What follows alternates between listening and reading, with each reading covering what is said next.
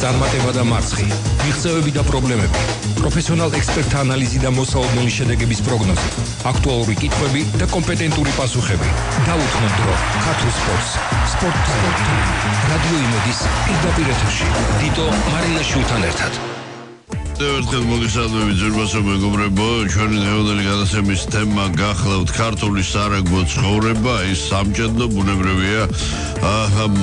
ქართული ბორჯალის თან მოახლოებული თაობათა ცვლის პროცესი და ამათ ყოველთვის მნიშვნელოვანი იყო ბუნებრივია თუმცა ასე დროს განსაკუთრებული ყურადღების ცენტრში ექცევა ეროვნული ჩემპიონატი. ანუ ის რესურსი ერთის მხრივ რომელიც ამ თავით ყურადღება უნდა მიექციოს ბუნებრივია მილტონ ჰეიგმა ჩვენი გუნდის დამრიგებელმა და სხვადასხვა აი ჰეიგის ნამდვილად არ გვეთქვის. ამ ხრივ ყოველთვის აი შეიძლება ზოგადად არ თუ ესწრება შეხვედრებს აი გამორჩეული უკვე არაერთმა მორაგბემ სწორედ საქართველოს ჩემპიონატში მოასპარეზე მოიგო კიდეს კვარტი ის სტატისტიკის როლში და მარტო მარკაპათი არ ყოფილა ელემენტალურად გამწესებული. ეს საკმაოდ მნიშვნელოვანია და თან უაღრესად დაძაბული ასე პირდაპირ შეიძლება ითქვას რეგულარული სეზონის რეგულარული სეზონი გამოდგა დრამატული აი ბოლო შეხვედრის ბოლო წუთებმა გადაწყვიტა თუ რომელი გუნდი გამოეთხოვებოდა უმაღლეს ლიგას და გარდა ამისა როგორ განთავსდებოდნენ გუნდები მოწირავე ექვსეულში ნუ აქ პირველ მეორე ადგილი ბოლო წლების უსწრებმა ლიდერებმა ლელომ და ლოგომოტივმა გაინაღდეს თუმცა ლელომ პირველი ადგილი და უკვე აქვს ლელოსთვის მნიშვნელობა რამე თუ მიმდინარე სეზონის შუაწელიდან მოყოლებული გუნდი უკვე საკუთარ არენაზე დიდ დიღომში ასპარეზობს.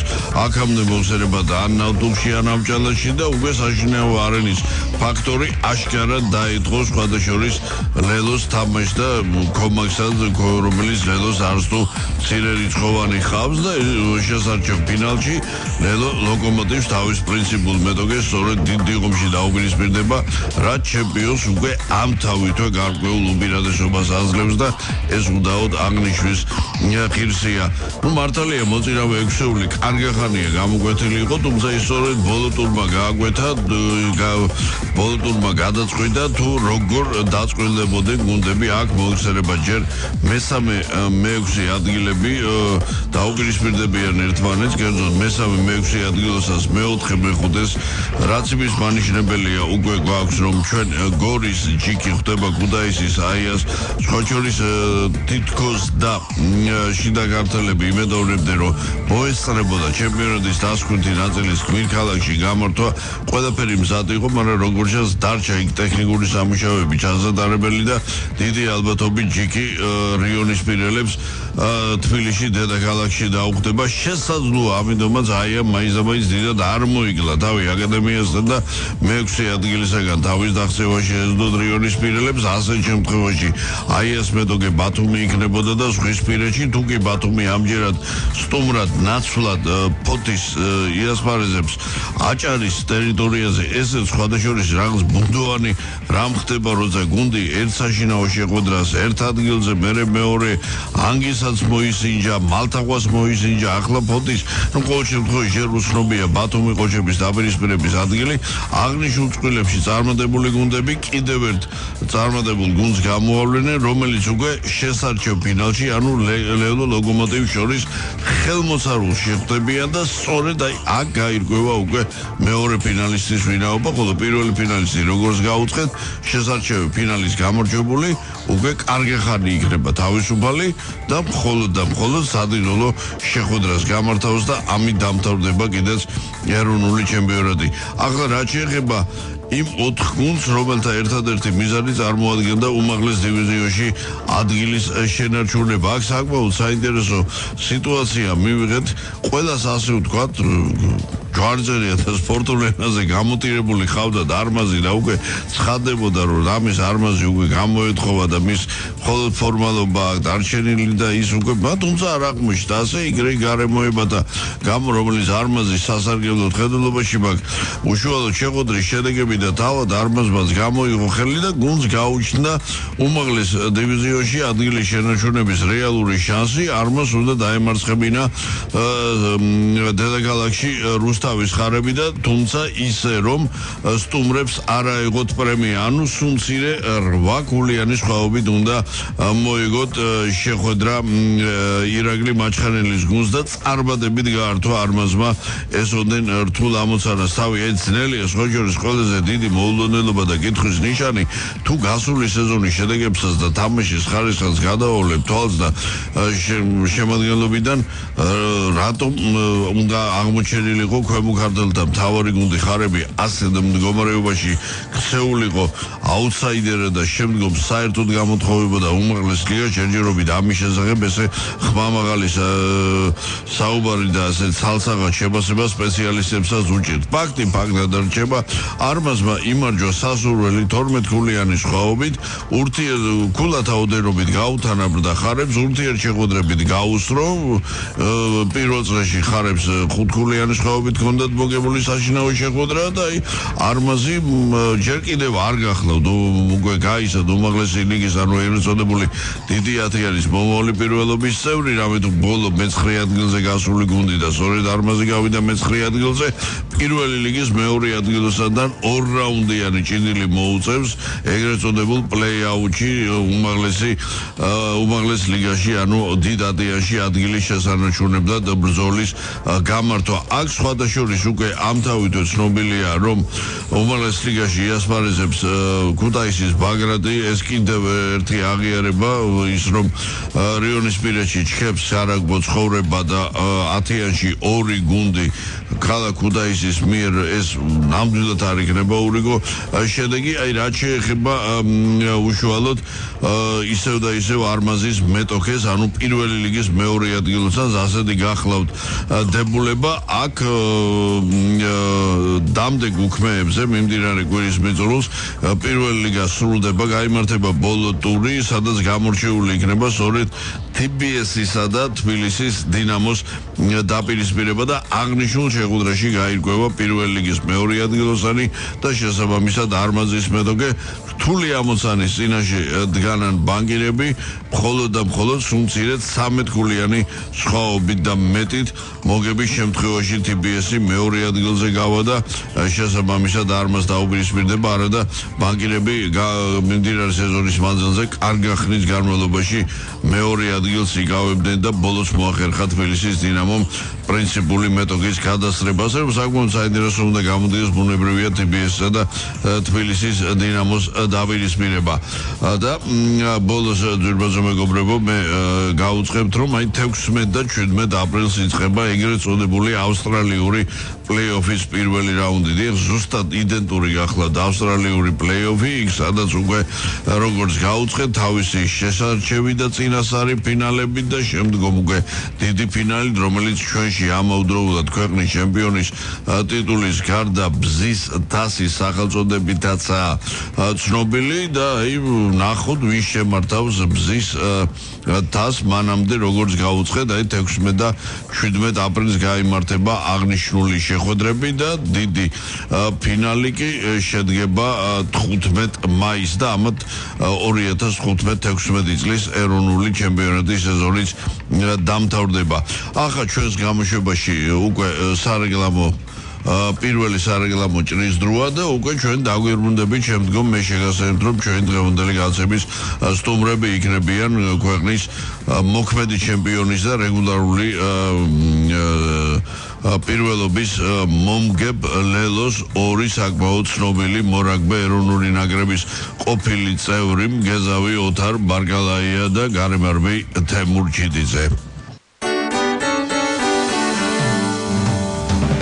თემურ ჩიდიძე სპორტ ტაიმი რადიო იმედის პირდაპირ ეთერში. დიტო მარინაშვილთან ერთად ну დაგიბრუნდი ჯერბასო მეგობრებო ну ჩვენი დედაქალაქის ახლა საცობებთან დაკავშირებით ახლა დროს არ დავგარგავ და გაქვთ უკვე წარმოდგენა რით ხდება მსგავსი პაუზა გამოწვეული ვართ ხუმში ვერს ფრთებს ვერს რაიმე დამატებით კოსმიური მაჩერჩერობით რომელსაც აღუნეში რა იქნება ამაზე ეს უკვე სხვა თემაა ნუ მოხსენებად მიზეზი ისეთ ბანალური ხდება ხო და ვერს ადამიანს მით უმეტეს ახლა ვარჯიშიდან მომავალი გაზი შემოგვიერდა ჩვენი ასები სტუმარი თემურ ჩიდინძე თემურ საუნშუდოვის მოგესალმები მადლობია გადაგიხადო მიუხედავად ასეთი დატვირთვის გამონახეთ რომ მაინც გაზებაში მონაწილეობის მისაღება დატვირთვა.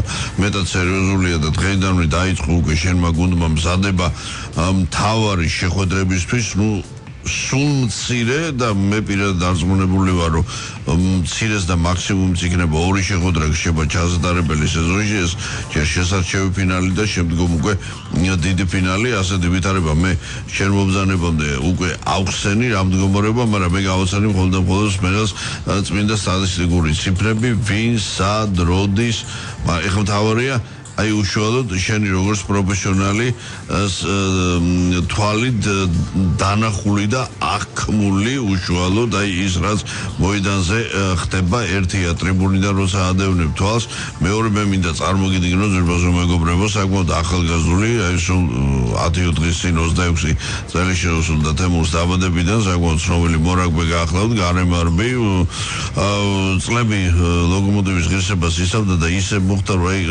ორი დღის წინ თავისი ყოფილი კლუბის არ ამაში არ ჩაოლებრივი არაფერი გახლავ თუმცა ეს მე და ნიჭიერი მორაგვი აშიერად გატანჯა ტრავმები. აი ასე პირდაპირ მოყვება სხვადასხვა ხასიათის ტრავმები თავისი რეციდივები და და იმდენად მრავალ მხრივ ნიჭიერი რომ აი საკმაოდ კარგად ხელეწებება შვიდკაცარაგვი თავის დროზე ეროვნულ უნივერსიტეტს დაეხმარა და საუნივერსიტეტო ევროპის ჩემპიონატის მოიგო.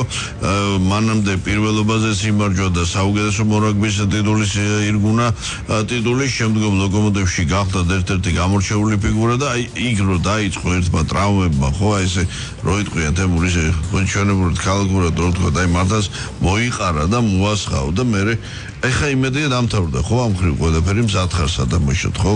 მოგესალმებით ჩვენ რადიო დიახ ხა მზად ვარ ყოველთვის ვცდილობ რომ ფორმაში ვიყო მემზადები. რა ვიცი ვარჯიშობ ყოველთვის კარგად ვარ ესე რაც შეეხება ჩვენს თამაშს ლოკომოტივთან ძალიან კარგი თამაში იყო სანახაობრივადაც კარგი თამაში იყო. მეცადე რომ გამომეჩინა თავი ჩემს ზოგუნს ვეთამაშებოდი მაგრამ კი ხუთხუთი ლელო დაიდო ხო ეს უშვიათესი მოვლენაა მითუმეტეს ბენდო მაინც მოუწია შეცვლა სტილის და ეს მისი საყვარელი მგორავი მოლი ამჯერად უკვე ისეთი ხელდა-ხელდა გაშილმა თამაშ თამაშმა ჩანსვლა ყოველ შემთხვევაში ისის გასთვალისწინებელია რომ არ იყო პრაგმატული მოსაზრებით მიშოვანი თამაში არაფერი იცვლებოდა. თქვენ უკვე ჩემპიონები იყავით ანუ რეგულარული სეზონის გამარჯვებულები ის მყარად მეორე ადგილზე იყო თუმცა ის რომ ორივე გუნდი დაიხარჯა და ბოლო წამამდე და დრამატული ფინალი ქონდა რომ თქვენ პრაქტიკულად წაგებული შეხვედრა შემოატრიალეთ მე შევხსმენ სმენელს რომ ბოლო წუთზე მოახერხეთ ლელოთი ანგარიშის გათანაბრება დაჩი ხო თუ არ ვსწრები კობაძემ გამოიჩინა თავი და მე უკვე საჯის მიერ ზამადებულ წუთებზე გამომიშავებული ჯარიმის საერთოდ წარმატება, იმიტომ რომ ფრენს აღარ დამთავრდა, ხო? დიახ, დიახ, არ დამთავრდა ფრენ, რადგან ჯარიმა დაგვინიშნეს და ჯარიმა გავიტანეთ. აი ეს დეტალები. ეხლა მთავარი ვთქვა და აი ბოლო სამი ეხლა მეოთხედ მიჯრით მეოთხედ ეშურება ლელო ჩემპიონის ტიტულს. ნუ სხვადასხვა ესე ობივაწელი ერთი პერიოდი იმასაც გაიგონებ, რომ აი სადღაც ისე უმართლებს, უმართლებს უძლიერესებს, იქ იყო რიგი თამაშები სხვადასხვა გასულდა მიმდინარე სეზონში რომ მართლაც სასაული თამაშები მოიგონებოდა მაგრამ ასეთ შემთხვევაში მე რომელიც და უფრო ჩაუბრუნდი გადაოლე თვალი ეს მეტოქის უფრო არაპროფესიული იმაზე მეტყოლებდა ხო მე რას გულისხმობ პირდაპირ გეტყვი რომ იყო თამაშები როცა არაფერი არ უნდა და ბურთის აუჩი გადარტყმოს და ეხა ახალი წესები დროზე თავდება და რატომაც მოწინააღმდეგე თვითონ ირთულებდა საკუთარ ცხოვრებას და არ არტყავდა. ეს ბავადე შენი გამართლება კი არ არის. აი მისი ცოტა არ იყოს რაღაცა არაადეკვატური საქციელია და ასე მაგრამ ეს არ არის მთავარი იკვეთება სხვადასხვა ეს შეიძლება ითქვას რომ აი რეგულარული სეზონის პირველ ნახევარს ეხება აი მე იკვეთება ლელოს უკვე უპირატესობები ანუ როგორ დამეთანხმები ცია რომ გადაავლო თვალ დინამიკას ამ ბოლო 4 სეზონის ხო? სამი ზედიზე ჩემპიონი და მე 4 ეხა თავარი თავარი ფავორიტია ხო? ეხა უპირობოს ვერ იტყვი თან ჩვენ დღევანდელ სარაგბო ცხოვრებაში ექვსეული და ნებისმიერ გუნჩეულია ისეთი სიურპრიზის შეთავაზება კომაგისთვის მაგრამ თავარი ფავორიტია და ამ ფონზე რის ხარჯზე ხდება. ну ნაწილი სპეციალისტების მიითვლეს რომ აი იმდენად კარგად აწყობილი სტრუქტურა აქვს ლევანს მაისაშვილს გუნდის თავარსოს და ხელმძღვანელობას რომ აქ საკმაოდ გრძელი საზადარიგო სკამი რაც უშუალო ტრავმირებულ გადაღლილ მოთამაშეთა და საერთოდ მატჩისგან და სეზონის მანძილზე იგივე სტატიკის მხრივ აძლევს უამრავი ცვლილების და ექსპერიმენტის ჩატარების შესაძლებლობას. ეს ასია თუ კიდევ რამეშია საიდუმლო გარდა ამისა. არა, სკამი რო გადაულო თოლი მარტო სოლიდურია.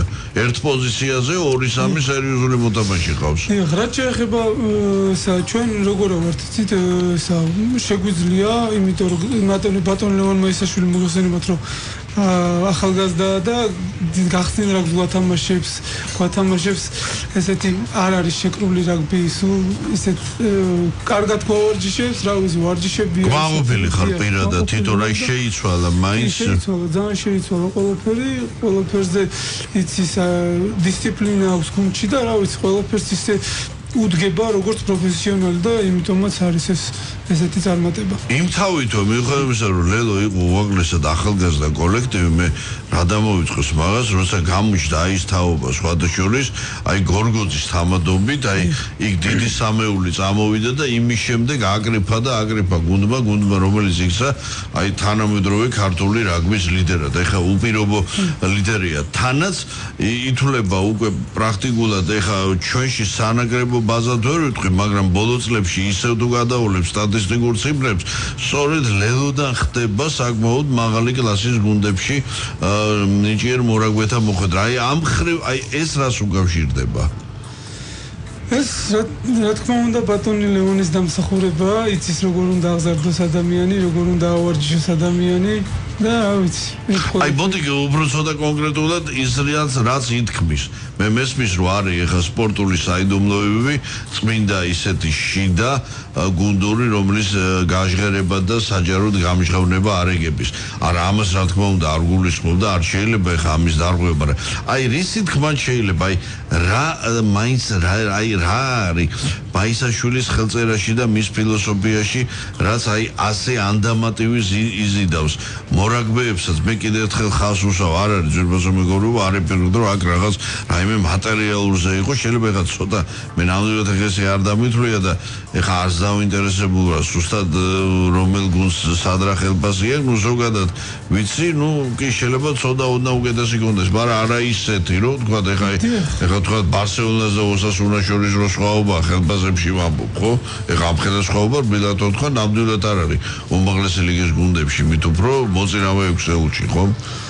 მაგრამ მიუხედავად ამისა, ხო, ლელოში მოხვედრა ნებისმიერი მორაგვისთვის ნებისმიერი ხასუსო დიდი პატივია და დიდი ღირსება. ჩემთვისაც დიდი პატივი იყო, ხა ლელოში ვთამაშობთ მოხსენებთ ბავშვი რო ვიყავი, მე ისე დავბრუნდი ლელოში და რაც შეეხება კი, სწორედ ხოჭურის აქ დაიწყე, აი, ასე ვთქვათ, პროფესიული მორაგვის კარიერა, ეს მე არ აღვინიშნავს.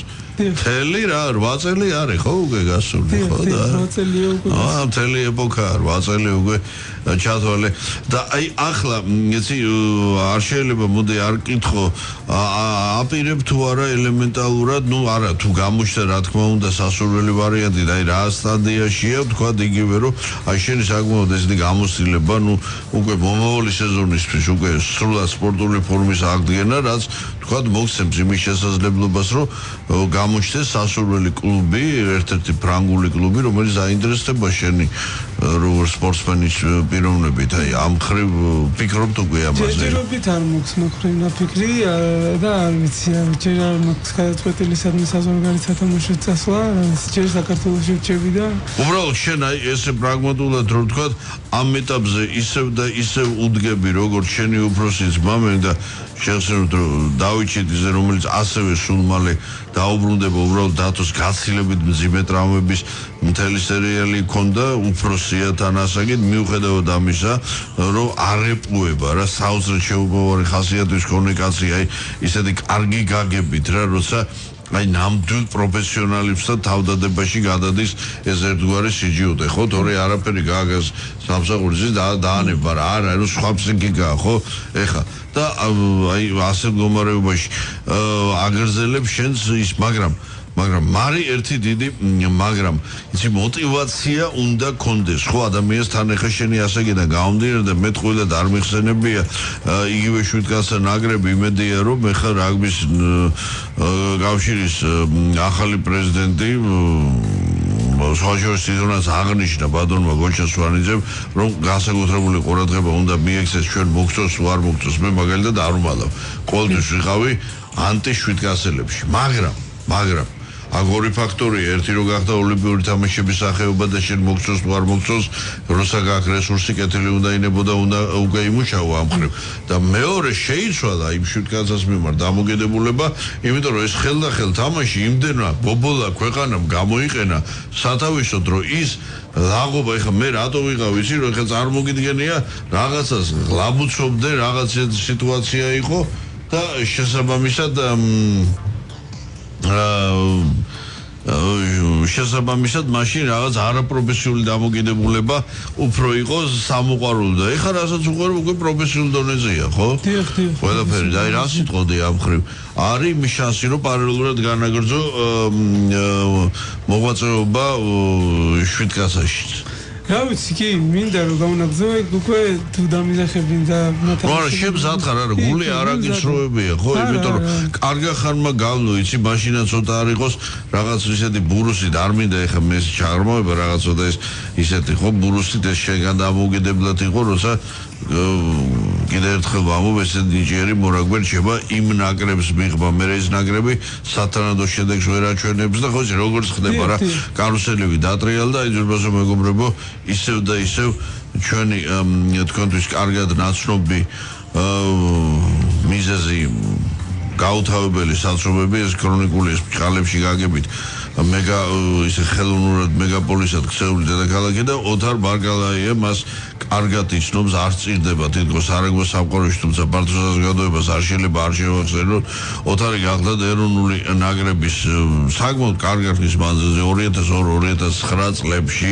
ერთ-ერთი სერიოზული ფიგურა 37 კეპი აქვს მოხოჭილი 59 ქულად აგროვილი და ამავდროულად გახლავთ ქართული ბორჯღალის ანუ ეროვნული ნაკრების ისტორიაში 10 საუკეთესო პიოს შორის შესული სპორტსმენი რაც უკვე ეს ამთავითვე ნათლად მეტყველებს და სხვადასხვა აი ოთარი გადაიოდა აი იმ თაობაში რომელიც ასე ვთქვა დიდი რაგბის სრულფასოვან დაუფლებას იწყებდა და აი სწორედ მაშინ ბოლომდე კიდე ვერ მოვასწარეთ. ხო აი მე ვახსენე როგორ რომელი წლები 2002-2009 სწორედ მის შემდეგ ხდება სერიოზული და კარდინალური ცვლილებები.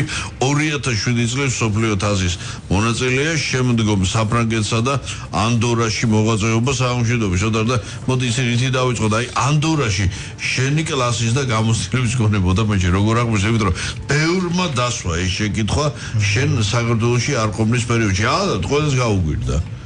კი მივესალმები თქვენს სიმაღლეს პირველ რიგში აა სხვათა შორის ბევრჯერ დაფიქრებულ ვარ მაგაზე. ცხოვრებაში მქონია რაღაცა შეცდომების და მქონია დადებითი დადების გულისხმობ ჩემ ოჯახს ჩემს შვილებს და ანდორას რაც შეეხება მაშინ მოგეხსენებათ ეხა ისეთი პერიოდი იყო მაშინ არ იყო საქართველოს ჩემპიონატში აა ასე ვთქვათ თანხები არ იყო ხელფასები და ამ ამან გამოიწვია ყველაფერმა მე ვთვლი რომ იძულებით წასვლას რასაც ქვია იმიტომ რომ უკვე ისე იყო არ მქონდა ანუ არაფრის საშუალება მქონდა ოჯახი ახალი შექმნილი და რაღაცა ნაბიჯუნა გადამედგა წინ. ამხრივ ერთი რამე არ შეიძლება ავდე არა უნიშნო რომ იცი რა არის ეს ჩვენი უშუალოდ სარაგო აგენტების ესე ოთარ მეასოს ეგა შეიძლება თქვა რაღაცა კილოგრამი და 2 ქორდის მომადებული მაგრამ მქონდა კიდე იყო ერთი ნაბიჯი რომელიც მოგეხსენებათ 18 წლამდე ნაკრებში ვიყავი მას 18-ა უბრალოდ 20 წლამდე ნაკრებში. მან მქონდა ერთი საშუალება როდესაც შემეძლო წავსულიყავი ელიტაურში. მან ფიქრობ და ალბათ უდიდესი ჩემ სპორტულ კარიერაში უდიდესი შეცდომა დაუშვი, როდესაც არ მოვაწერე პერიგოში ხელი და არ წავედი ფაქტიურად აა ეს მერე გამოჩნდა მაბადიერო შეცდომა იყო თუმცა მაშინ იცი ისეთი პრესა მაგრამ მაშინ არა მარტო შენ არ ფიქრობდი მაშინ სპეციალისტებიც არ ფიქრობდნენ ასე რომ არ ემეტებოდით მეორე დივიზიონისთვის იმიტომ რომ მაშინ ის ნიჭი ასაკიდა და ყველაფერი აი იმ თვისებებიდან გამომდინარე გასილებით ეხა პირდაპირ ვიტყვი დღეს რო ყოფილიყო აი ოტარ ბარგალაია 20 წლის მერწმუნეთ ეხა იქნებოდა ტოპ 5-ში აი ამაზე შემიძლია ეს საკუთარი რა ვიცი ხა აი რა რა რა აი რა არა ის რეალურად ასე იყო უბრალოდ ეპოკალური და დაბრუნდი. და აი რაც კიდე ერთი მოლოდელი და სასიამოვნო ის იყო რომ არ დაამთავრე კარიერა როგორც შეიძლება ხდება და უმეტესი ნაწილი. და შენ მშობლიურ გუნდში ხარ ისევ ჩაული სხვა ჯორის კონკურენციას უწევ ხმალაძეს რომელიც ასევე საკმაოდ სერიოზული ფიგურაა. ხო შეიძლება ითქვას ეხლა ლაშა ხო და ერთად ვიზდებოდით და ერთად ანუ ეს სკოლა გვაქვს ასე თქვა გავლილი კი კი კი. და აი რამ როგორ შეებასება რამ მდგომარეობაში დახვდა ეროვნული ჩემპიონატი? აი იმ პერიოდიდან მოყოლებული სრულიად რა თქმა უნდა სრულიად შესრულილი სრულიად თანამედროვე და გაახლებული და ასე თქვა დაძაბული და ამაღლებული რაც თავარია ყველაზე სათამაშო რეგბი ანუ დონე რაგბის საერთოდ, იმიტომ რომ ალბათ, რა ვიცი, ეს თუნდაც ჩემ დროს არ იყო 10 გუნდი, არ იყო პირველი ლიგა იყო, მაგრამ არ იყო ამდენი გუნდები, არ იყო მესამე ლიგაზე, არ იყო საერთოდ არ იყო ესეთ რაღაცებს საუბარი კი არა, შეიძლება ვერც ვეფიქრა ეგეთ რაღაცაზე და სრულიად შეცვლილი დამხვდა თავიდან მოგიხსენება ცოტა გამეჭირდა კიდევაც სიმართლე რომ გითხრათ. ჩართვა აქ საქართველოს ჩემპიონატს იმიტომ რომ განსხვავდება იმისგან საფრანგეთის ჩემპიონატისგან იმისგან რომ უფრო მეტი ძალა და უფრო მეტი ენერგია გჭირდება მოედანზე და ძალიან გამიჭირდა თავიდან, მაგრამ მაინც ქართველი ხო სისხლი რო გაქვს, მაინც ნელა ეჩვევი და ეგუები ყველაფერს და მე ვთვლი რომ ეხა უფრო აი ყველა ეტაპზე თითქმის თამაშს გულისხმობ, ჩემი ხარისხი უფრო მატულობს. ოთარ არ შეიძლება არ გითხო ისე ზოგადად შენ პარალელურად უკვე ბავშვებში დაიწყე აქტიური ანუ სრულად ეს არის ზურბას მეგობრებო ის კატეგორია რომელიც დღენია და რაგბი ცხოვრობს მათთვის რაგბი გაცილებით მეტია ვიდრე ჩვეულებრივი შემოსავლის ყავრი ხა აღნიშნა ოთარ ოჯახი ყავს მათ არსებობა უნდა ყველაფერი ელემენტარული პირობები მაგრამ არის მეორე მომენტი რომ სხვაგვარად საკუთარი თავი ვერ წარმოგიდგენია სხვა სფეროში მოღვაწეობის თუკი აგინდა სრულად დაიხარჯო და ამ ფონზე მინდა კითხო რომ საქართველოსში სადამოშო ბურთია სახეობებიდან აი რაგბი უპირობო ლიდერად იქცა იმ ხრივაც რომ ძალიან დიდი რესურსია უკვე ეროვნულ ნაკრებისთვის აქ მოთამაშე ეროვნულ ჩემპიონატში და არა მარტო გაპარტოებულ სიაში შემოსვლამდე აღნიშნავდი უკვე სერიოზულ თამაშებში ებებიან უკვე ისინი მარტო მარკაპატი არ კმაყოფილდებიან. ჰეი უფრო და უფრო თამამად შემოყავს ის ხალხი თამაში არ არის აუცილებელი აუტსაიდერთან და სად არის ზაღლის თავი დამარხული? ანუ ის რაც ჯერ კიდევ თქვა 8 წლის წინ გაცხადა რომ თუ ჩვენ სწორად ვივლით განვითარებით რომ ჩვენ გვაქვს ის რე შეგვწევს უნარი რომ მინიმალური ხელშეწყობის პირობებში რომ ჩვენ აქვე საქართველოს იგივე ყბადაღებული ფრანგული ლეგიონის გარეშე შევქმნათ სერიოზული გუნდი.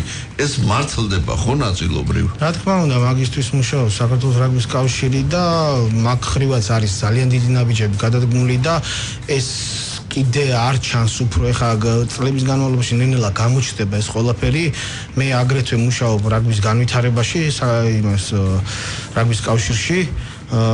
და ძალიან დიდი ნაბიჯები იდგმება იმისათვის რომ ანუ ფიქრი მიდის იმაზე რომ როგორ გავაუმჯობესოთ როგორ გავანახლოთ ყველაფერი და ასე შემდეგ. რაც შეეხება ბავშვებს ჩაუდექი სათავაში როგორც თნელი ისევ რა თქმა უნდა ლელოს არ შორდები ლელო ალიგას და ჩემი მუშაობა ერთ-ერთი რა ვიცი აი ყველაზე და ალბათ ჩემ ცხოვრებაში დადებითი ისა რა ქვია ნაბიჯი თანდიციონებასაც განიჭებს უშუალოდ აი ზუსტად მაგის ისმინდა თქმა რომ აი ძალიან დიდ სიამოვნებას ღებულობ და ჩემი თავი მახსენდება ყველა ბავშვი და ვცდილობ რომ რაც გამოცდილება მაქვს და რაც შეძენილი მაქვს გადავცი ამათ. დაბოლოებო სამწუხაროდ იწურება ჩვენი განცემის დრო და არ შეიძლება არ გითხო ეხა კარს მომდგარი პლეიოფის წინაი რამდენად მომზადებული გზნობს საკუთარ თავს? საკუთარ თავს მომზადებული გზნობ მომზადები თვითონ გუნდის უკვე შეუდექით მომზადებას და რა ვიცი აბა ყველაფერი დრო გაჩვენებს მე მგონი. ვეცდებით რომ ისევ მეუთხეთ ავიღოთ ჩემპიონის ტიტული. მეოთხე და მე არ ვიცი, არ მიყვარს პროგნოზები, მაგრამ ერთ რამეში დარწმუნებული ვარ, რომ ეხლა დარწმუნებული ცოტა ხმამაღალი სიტყვა რომ ლელოს ორი თამაში დაკმაყოფილება მოუწევს შესარჩევი ფინალი და დიდი ფინალი და ბოლოს აი სულ 10 წამი დამშა ოთარ თუ იგეგმება აი ის რაც გაცხადა უახლოეს მომავალში და გამოინახა რესურსი რომ ჩემპიონმა უკვე ევრო ტურნირებზეც მოსინჯოს და ეს რა შეიძლება მაგას ალბათ უფრო ვერ გიპასუხებთ ახლა პირდაპირ იმიტომ რომ მაგას დრო გვიჩვენებს და მაგაზე მიდის მუშაობა. არა და გვინდა ჰაერები ნუ. ჩინდება აუცილებელია და მე მგონი კავშირი ვალდებულიც კი არის რომ ეს პირობა შეიქმნას. აუცილებელია რა. და ბოლოს მეჯობ კიდევ ერთი რა მინდა მოგილოცო ლელოს მოთამაშეებს რომ ლელო თავის არენაზე თამაშობს რა სხვადასხვა რამდენიმე თაობის აუღდერილი ოცნება იყო თამაშობს დიდ დიღომში და საკუთარ არენას თუ რაოდენ დიდი მნიშვნელობა აქვს ვიღაცა შეიძლება ეხა ობიოაცელმა იკითხოს ეხა დიდ დიღომში თამაშება ავჭალაში თუ ნავთობში ასე არ არის მობრძანდით ნახეთ დაესარით მიიღეთ დიდი სიამოვნება და შემდეგ უკვე თავად განსაჯეთ თუ რას ნიშნავს როცა გუნდი საკუთარი არენის უპირატესობით სარგებლობს მე კი წარმატებას გისურვებ დიდი მადლობა წარმატება და მარცხი, მიღწევები და პრობლემები, პროფესიონალ ექსპერტთა ანალიზი და მოსაოდნელი შედეგების პროგნოზი, აქტუალური კითხვები და კომპეტენტური პასუხები. დაუთმო დრო, ქართულ სპორტს, სპორტ სპორტ. რადიო იმედის პირდაპირ ეთერში. დიტო მარინაშვილთან ერთად.